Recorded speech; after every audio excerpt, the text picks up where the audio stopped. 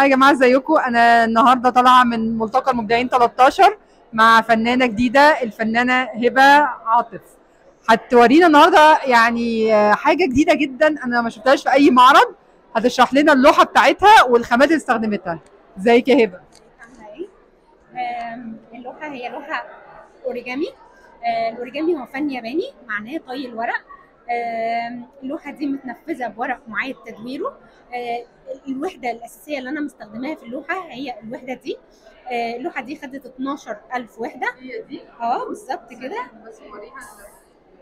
هي دي. هي دي يا جماعة الواحده اللي هي مستخدماها. اللوحة دي ست درجات ألوان. أنا مش بختار شخصية علشان هي مشهورة أو كده لأ هي بتبقى عبارة عن لقطة معينة بتعبر عن مشاعر معينة هي اللي بتخليني إن أنا آه، أخدها وأبدأ إن أنا أنفذها عن طريق فن الأوريجامي.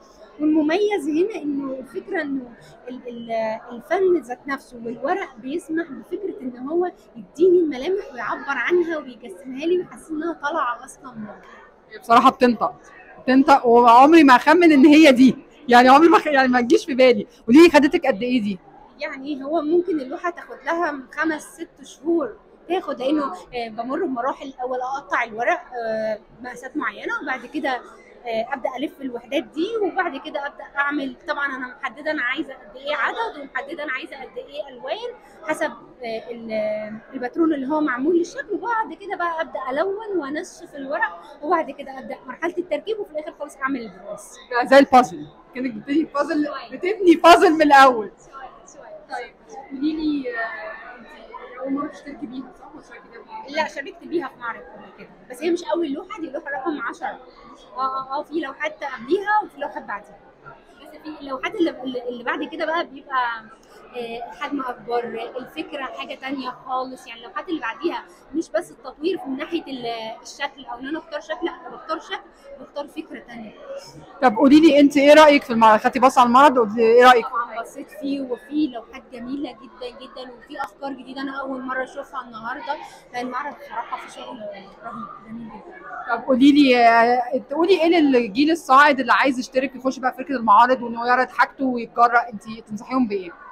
إيه، أنصحهم فكرة إن هم لما بيعرضوا حاجاتهم هي تعتبر خطوة مرحلة أولانية بس إن هم يبدأوا يدخلوا العالم ده ويشوفوا ويتعلموا فكرة إن هم يشوفوا لوحات تانية فهتديهم أفكار جديدة يبدأوا ينفذوا يبدأوا يعرفوا إيه اللي هم بيحبوه إيه اللي مش بيحبوه وهكذا يعني.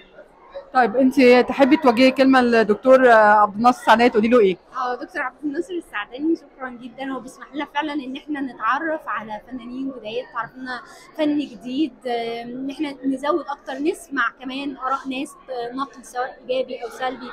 كل ده بيساعد الناس إنها تطور أكتر في الفن بتاعها تمام. في- داخلة أي معارض تانية قريب؟ آه، يوم الخميس الجاي إن شاء الله في اتيليه القاهرة.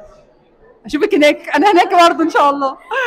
خلاص إحنا كده يا جماعة معانا كان الفنانة هبة مع شغلها الرائع الأورجامي التحفة.